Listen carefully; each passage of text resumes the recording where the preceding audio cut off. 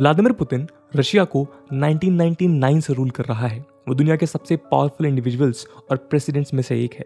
पिछले करीब 22 सालों से रूलिंग के दौरान रशिया को उसने एक ऑथोरिटोरियन और मिलिट्रिस्टिक सोसाइटी में डेवलप किया है। साथ ही साथ अपने नेबर दो कंट्रीज़ यानी यूक्रेन और क्राइमिया को सक्सेसफुली इन्वेड भी किया था। उसने सीरिया और ईरान के साथ अपने टाइज मज़बूत किए हैं और जिसके साथ ही वो वेस्टर्न वर्ल्ड ऑर्डर को पुश बैक करने के लिए कंसिस्टेंटली काम कर रहा है and this push seems to be working ये समझने के लिए कि कैसे एक व्यक्ति इतना पावरफुल इन्फ्लुएंस असेट कर सकता है, हमें उस केओस और करप्शन को देखने हिस्ट्री में जाना होगा, जिसने रशिया को अपने चंगुल में सोवियत यूनियन की फॉल के बाद फंसाए रखा था। नमस्कार दोस्तों, मेरा नाम है आदर्श और स्वागत है आपका स्टडी आईक्यू में। जब बर्लिन वॉल को गिराया गया यानी नवंबर 1989 में तब 40 year old Putin East Germany में एक अंडरकवर स्पाई के रूप में रशियन सिक्योरिटी एजेंसी के के लिए काम कर रहे थे। सोवियत यूनियन डिजोल्यूशन और यूएसएसआर से 15 नए देश अलग हो गए, जिसमें रशियन फेडरेशन यानी आज का रशिया शामिल था। पुतिन के लिए रशिया ने two million square miles territory को हारा था। पुतिन ने बाद में ये बताते हुए कि टेंस ऑफ़ थाउज़ेंड को पैट्रिएट अब रशियन टेरिटरी में नहीं है ये भी कहा था कि ये major geopolitical disaster of the century है। नई गवर्नमेंट को नियरली 45,000 बिजनेसेस को बेचना पड़ रहा था जिसमें एनर्जी माइनिंग कम्युनिकेशन जैसे कई कंपनीज़ थी जिसे कम्युनिस्ट रेजिम चलाती थी। ये एक केओस था। रशियन इकोनॉमी एक फ्री फॉल में थी। और ये सारी कंपनीज़ कुछ गिने चुने एक्सट्रीमली वेल्दी लोगों के हाथों में चली गई, जिन्हें आज रशिया के ओलिगार्क्स कहा जाता है। इन ओलिगार्क्स में Alexander Lebedev Dmitry Rybolovlev etcetera शामिल हैं।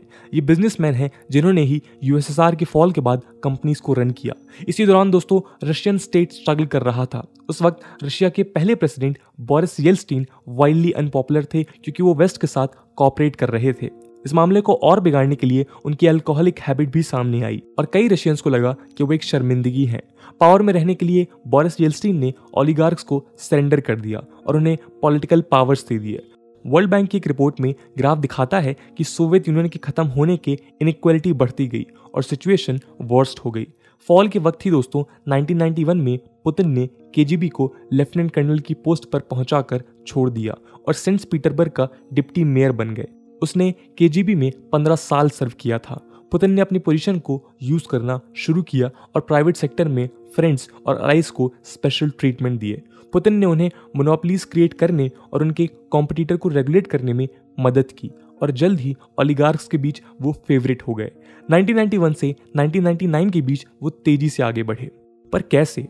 उसने धीरे धीरे oligarchs corrupt politicians crime bosses और सिक्योरिटी ऑफिशियल्स के बीच एक स्ट्रॉन्ग नेटवर्क असेंबल किया। मोस्टली पुतिन की ही तरह सारे फॉर्मर के ऑफिसर्स थे। इसके कारण वो न्यू रशियन स्टेट में पॉलिटिकल लेडर पर तेज़ी से ऊपर गया। 1999 में बोरिस येल्स्टीन ने व्लादिमिर पुतिन जो उस वक्त पॉलिटिक्स में एक अननोन चेहरा था, को अपना प्राइम मिनिस्टर अपॉइंट किया। एक फियर्स नेशनलिस्ट होने के कारण पुतिन को लगता था कि बोरिस येल्स्टीन वेस्ट के साथ बहुत मिलजुल कर काम कर रहे हैं और वेस्ट को डोमिनेट करने दे रहे हैं। उसे डर था कि नेटो, यानी वो ऑर्गेनाइजेशन जिसने सोवियत यूनियन के इन्फ्लुएंस को कंटेन करने में एक मेजर रोल प्ले किया था एक्सपैंड हो सकती है और रशिया के आसपास देशों तक फैल सकती है। इसी दौर में पुतिन का गोल ये हो गया कि अब रशिया को एक स्ट्रॉन्ग स्टेट के रूप में बनाना है। ऐसा देश जो डोमेस्टिक मामलों में तो कैपेबल हो ही, पर उसके नेबरिंग नेशंस पर भी मोर इन्फ्लुएंशियल तरीके से इम्पैक्ट डाले और इसे जल्द ही एक चांस मिला। पोस्ट सोवियत केओस में, चिचन्या में वायलेंस एस्केलेट हो रहा था। ये वो देश था जो रशिया से मिड नाइन्टीज में इनफॉर्मली अलग हो चुका था और यहाँ के चिचन्यन वॉर लॉर्ड्स और टेररिस्ट रशियन टेरिटरी में इंक्रोच कर रहे थे। अगस्त 1919 में एक सीरीज़ ऑफ़ बॉम्बिंग्स हुई और करीब 300 लोगों की जाने गई।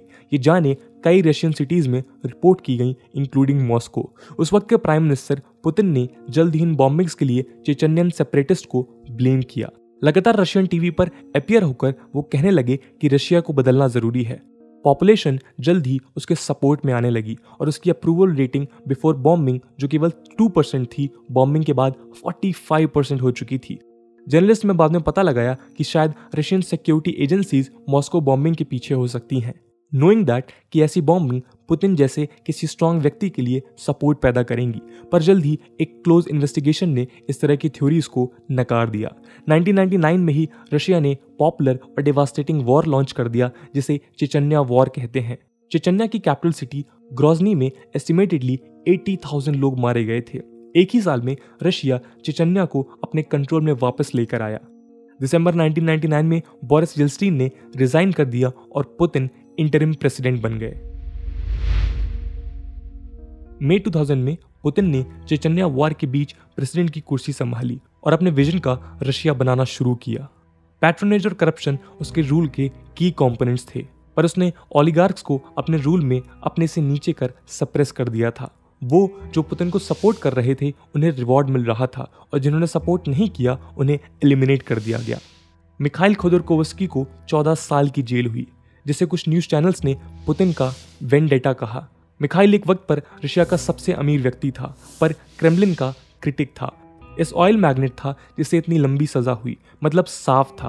पुतिन किसी की सुनने वाला नहीं था। अब जब ओलिगार्की कंट्रोल में थी तो पुतिन अपने विजन्स रशिया से बाहर लेकर जा सकता था। 20 साल पहले रशिया और यूएसए के रिलेशंस फेयर थे।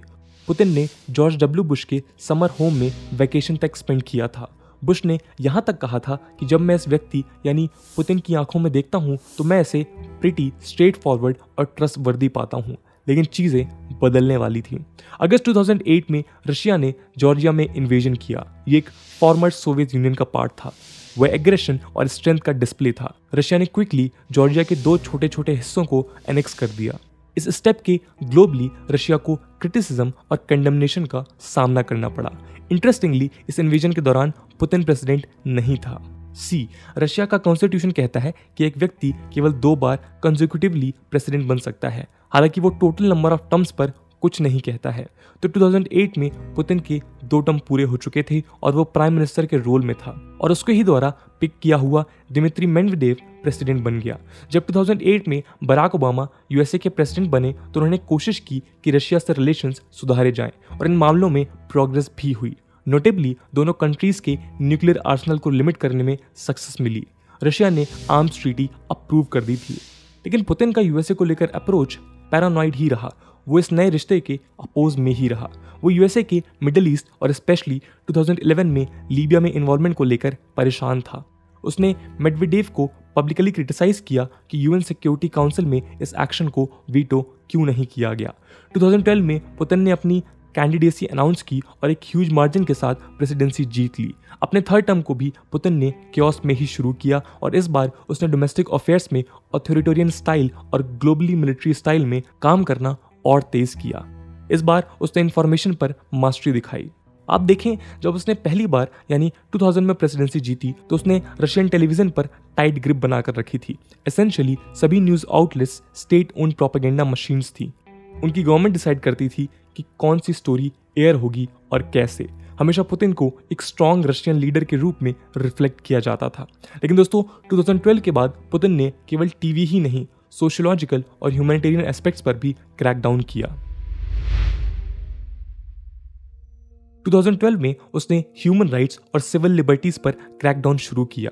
पुतिन ने यह क्लियर कर दिया था कि उसके रशिया में डिसेंट के लिए कोई जगह नहीं है। फॉर इंस्टेंस स्टेट टेलीविज़न का यूज़ करके उसने पुसी राइट नाम के एक फेमिनिस्ट और गे राइट्स म्यूज़िक ग्रुप के अगेंस्ट एक स्ट्रॉन्ग कैंपेन शुरू किया। उसने फॉरेन स्ट्रेटजीज में भी एग्रेशन दिखाना शुरू किया।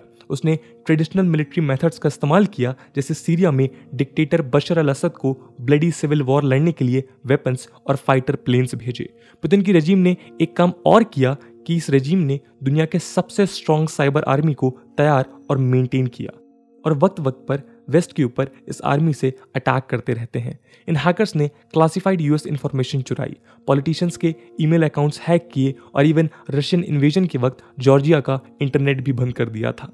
इसके अलावा यूएसए प्रेसिडेंशियल इलेक्शन में 2016 में हिलेरी क्लिंटन के कैंपेन को रिपोर्टेडली रशियन हैकर्स ने सेबोटाज करने की कोशिश की थी। यूरोप में राइट विंग कैंडिडेट्स ने सपोर्ट में प्रोपेगेंडा कैंपेन्स भी रशियन हैकर्स द्वारा चलाए गए, ऐसा रिपोर्ट किया जाता है। इसमें पुतिन का क्या विजन है? दोस्तों एसेंशियली पुतिन इन सभी स्टेप से डेमोक्रेसीज में एक डिवाइड बनाना चाहता है। 2014 में पुतिन का ड्रास्टिक विजन यूक्रेन को अटैक कर सामने आया। ये भी एक फॉर्मर यूएसएसआर कंट्री था। यूक्रेन के प्रेसिडेंट वेस्ट को लेकर ओपन हो रहे थे। ऐसे में पुतिन फियर था कि वो नेटो को ज्वाइन कर देगा। इस दौरान उसके खिलाफ रशियन हैकर्स ने यूक्रेन में प्रोपागेंडा कैंपेन चलाया, जिससे ईस्टर्न पार्ट्स जो प्रो रशिया है प्रोटेस्ट स्पार्क हुई। पुतिन ने इस कैंपेन के बाद डिस्गाइज रशियन ट्रूप्स भेजे और वायलेंस इरप्ट हो गया। इसके बाद रशियन आर्मी अंदर घुसी। 2014 में रशिया ने क्राइमिया का एनेक्सेशन किया और यूक्रेन वॉर चलता रहा। हज़ारों लोगों की जाने गई। दोस्तों ग्लोबली प्रोटेस्ट हुए, पर पुतिन ने कभी गिव अप नहीं किया। उसकी एग्रेसिव फॉरेन पॉलिसी नेबर्स को वीक करती हैं और सक्सेसफुली रशियंस को उसके सपोर्ट में बनाए रखती हैं। इसके ड्रॉबैक्स भी हैं। ये सब पुतिन ने अपने लोगों की ज़िंदगी और सोशियो इकोनॉमिक एक्टिविटीज़ के कॉस्ट पर किया है। इन सभी अटैक्स और यूक्रेन इन्वेजन और एलेपो बॉम्बिंग्स में ईयू और यूएसए ने स्ट्रॉन्ग सैंक्शंस लगाए थे। रशियन बिजनेसेस को वेस्टर्न मार्केट्स में काम करने पर बैन लग रहा है। रशियन करेंसी नीचे गिरी और इकोनॉमी पर इम्पैक्ट हुआ। लेकिन दोस्तों रशिया अब भी दुनिया में मेजर पावर्स में से एक है। रशिया के पास एनर्जी और गैस के ह्यूज रिसोर्सेज अवेलेबल हैं। इसके साथ ही उसका इन्फ्लुएंस खत्म होता नज़र नहीं आता है। ये सभी पुतिन के अंडर ही पिछले 22 सालों में हुआ है। कुछ रिपोर्ट्स के मुताबिक, पुतिन 2036 तक रशिया को रूल कर सकता है क्योंकि रशिया पुतिन पर हाईली डिपेंडेंट है। उसने एक लीडर होने की इंपॉर्टेंस दिखाई है और कंट्रोल तरीके से काम करते हुए सबको पुतिन में एक तरह से उनकी खुद की झलक दिखी। इसके अलावा रिसेंट ईयर्स में कॉन्स्टिट्यूशनल चेंजेस कर पुतिन ने प्रेसिडेंशियल टर्म्स वाले रोड ब्लॉक को भी अमेंड कर दिया था। तो दोस्तों, ये थी कहानी पुतिन की हेजीमनी की। पुतिन को लेकर आपका क्या ओपिनियन है कमेंट सेक्शन में ज़रूर बताइएगा। आज की वीडियो के लिए इतना ही। आई होप आपको वीडियो पसंद आई होगी। और अगर पसंद आई है तो अपने दोस्तों के साथ शेयर करना मत भूलिएगा। हम मिलते हैं अगले वीडियो में। तब तक के लिए जय हिंद, जय भारत।